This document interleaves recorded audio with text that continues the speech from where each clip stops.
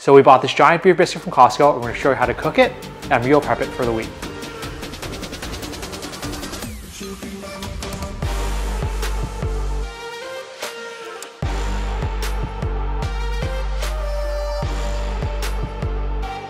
Hey friends, welcome back to the channel. If you're new here, my name is Kevin. My wife Alice and I have lost 60 pounds together on our keto and carnivore journey.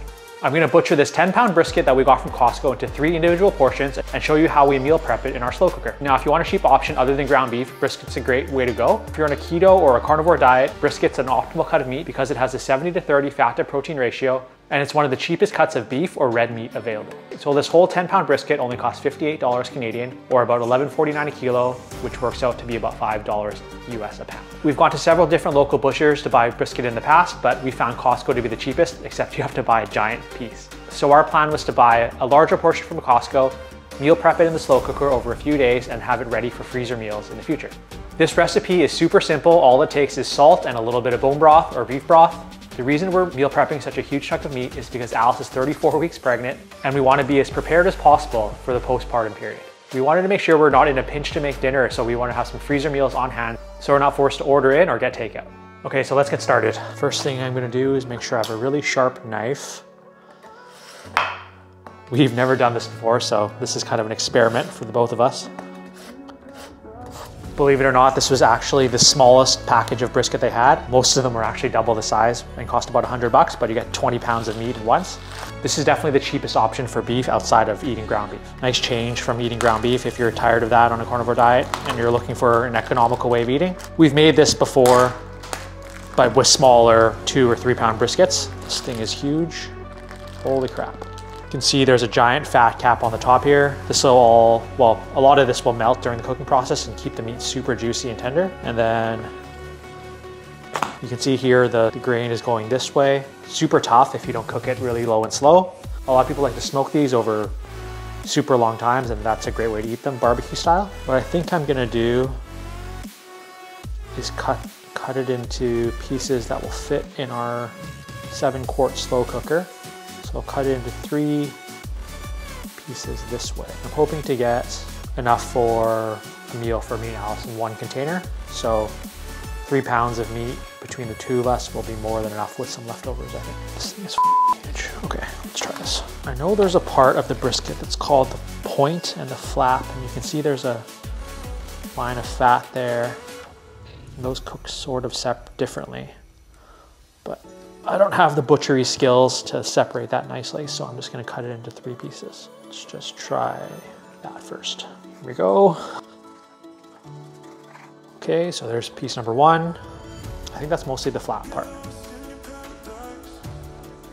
Make sure you have a really sharp knife to do this because the fat in the brisket's pretty thick. We split them up into three, about three and a half pound pieces. What we'll do is we'll freeze two of them and we'll prep one for the soaking.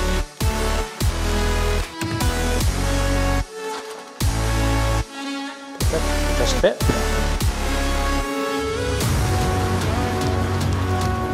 So we'll prep this end piece of the brisket for the slow cooker. I'm pretty sure this is the piece they use for burnt ends in barbecue, so it should be pretty tender.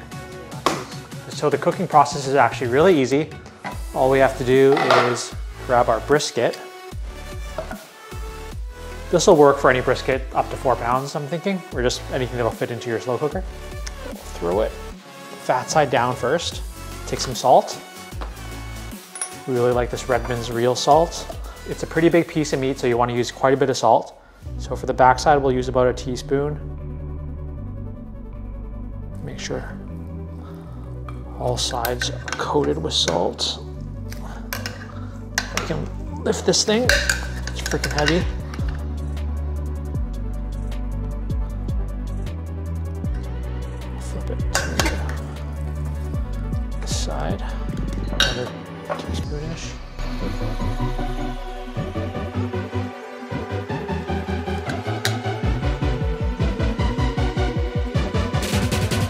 It's easy to taste, but for this piece we used about two teaspoons of salt in total. So that's it for seasonings. Now normally we just add a little bit of water to the bottom, maybe about half a cup or a cup. But today we're gonna be adding some beef broth, just to add a little bit more flavor, but I don't think it's needed. You can just go a little bit of water.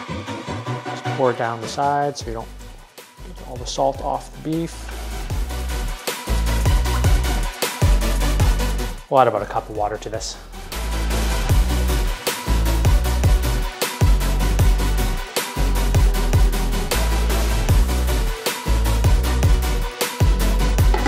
So for a piece this size, you want to cook this for a minimum of eight hours on low. It could take up to 10 hours, but just check it to make sure it's tender and fall apart.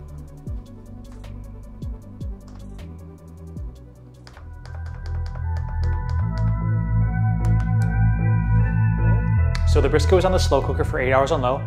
I took it out, I put it on the chopping board just to cool down so it's easy to chop up and put away into containers. So this is what it ended up looking like.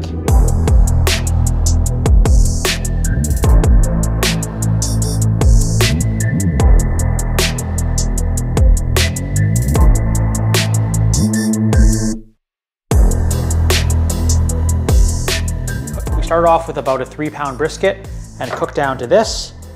It looks and smells amazing. I left the fat cap on so that it would just render into the beef as it cooked over the eight hours.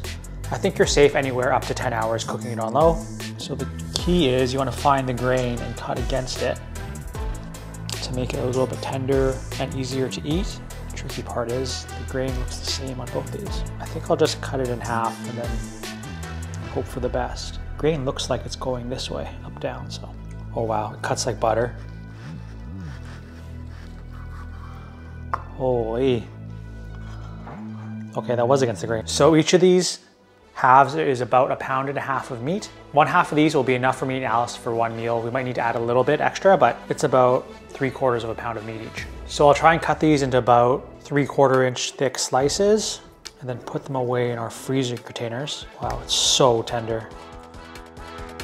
Okay, there we go. I cut up into six pieces, about three quarters inch thick.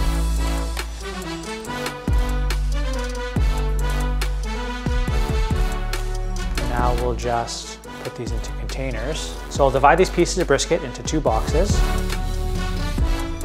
Yeah, these are just a pack of freezer safe boxes that we got from Costco. You could just probably throw the whole brisket into a Ziploc bag and throw it freeze it that way.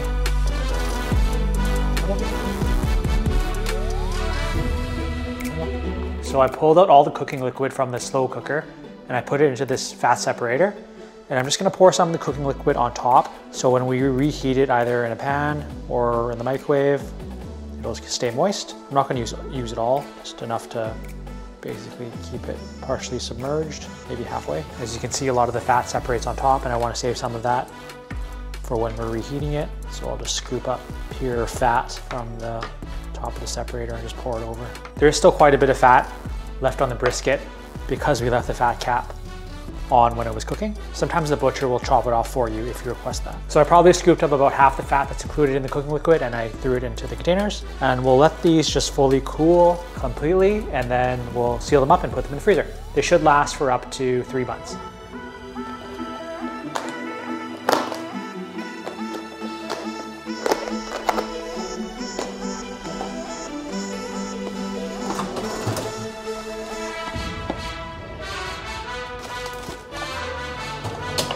If you liked our video today, please give us a thumbs up and subscribe to our channel.